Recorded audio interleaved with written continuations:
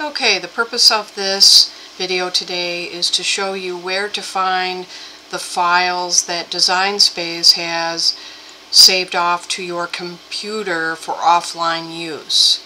What you'll need to do is make sure that you actually have the save for offline radial button depressed.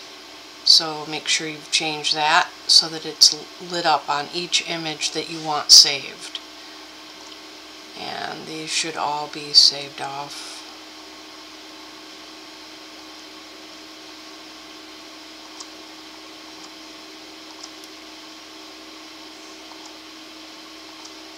So that should be the key.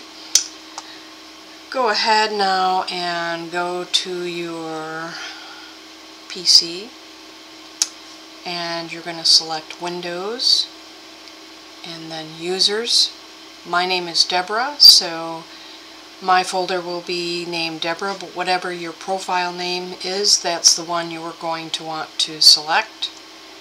Once you're here, select the dot cricut dash design dash space directory. Select local data. Select one of the file directories that you have set up. In my case, I have two on Design Space. So I'll just click the first one.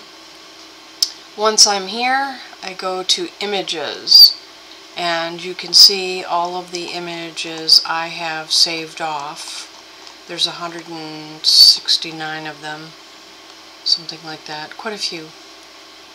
And so what I'll do is just select the last one, go to Preview, and there is the flower that I saved off. I hope this helps.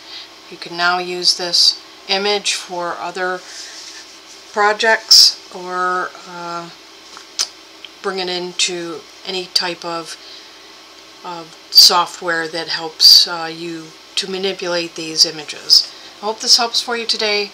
Have a great day.